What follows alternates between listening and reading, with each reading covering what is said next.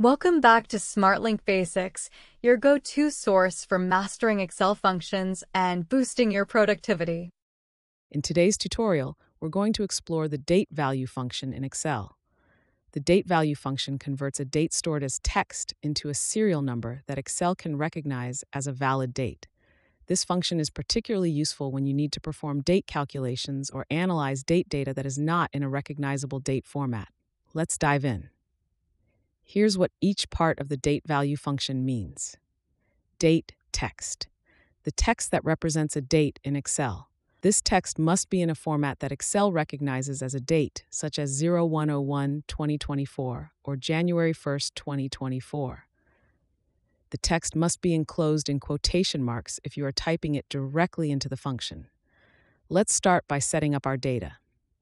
Imagine you have a list of dates stored as text in a column and you want to convert these to a date format that Excel recognizes so you can perform calculations on them. To convert a text date to a serial number with date value, simply enter the formula displayed at the bottom of the screen in cell B2.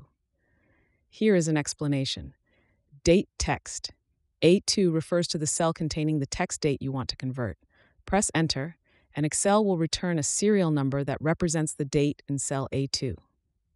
Next, suppose you want to calculate the number of days between two dates stored as text. You can use the date value function to convert these text dates to serial numbers and then subtract them.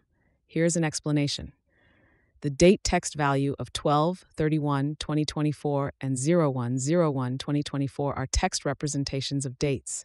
Press Enter, and Excel will return 365, which is the number of days between January 1, 2024 and December 31st, 2024. The date value function is incredibly versatile and can be used in various scenarios. Data analysis convert text dates to serial numbers to perform date calculations or analysis. Data cleaning use date value to clean and standardize date data that is imported or manually entered as text. Financial modeling apply date value in financial models to ensure that all date calculations are accurate and consistent. We hope this tutorial helps you master Excel.